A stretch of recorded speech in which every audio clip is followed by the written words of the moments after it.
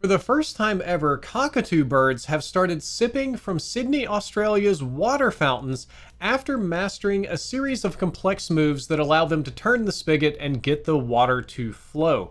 And scientists believe that these clever birds actually learned the technique by observing people and then trying to replicate that themselves. I found this article fascinating. I think that animal intelligence articles are fascinating in general.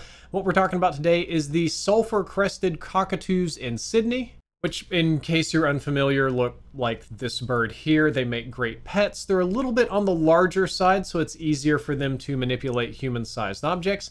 And they're among the more intelligent bird species. But we knew that even before they were drinking water from the fountains. Researchers had received reports that this was happening, so they set up camera traps and recorded the birds taking turns drinking at a fountain.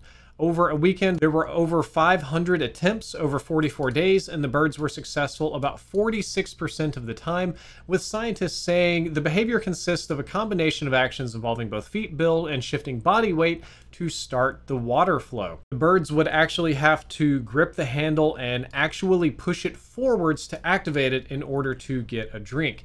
And one of the things that's fascinating about this article is that over 70% of the local bird population attempted to do this. So it's rapidly spreading amongst birds, which is amusing because the same city actually had a bin opening problem. This is an unrelated scientific article where cockatoos once again learned something they shouldn't. They learned how to open garbage bins and forage for food. So the authors of this study are concerned that cute little cockatoos are going to teach other ones all across Australia how to use the water fountains, which is wild, fascinating. They're incredibly intelligent birds. Uh, they've been known to dunk biscuits in water before eating them, dipping their food in yogurt to add flavor, and all sorts of other problem solving behavior, which personally I think is really cool.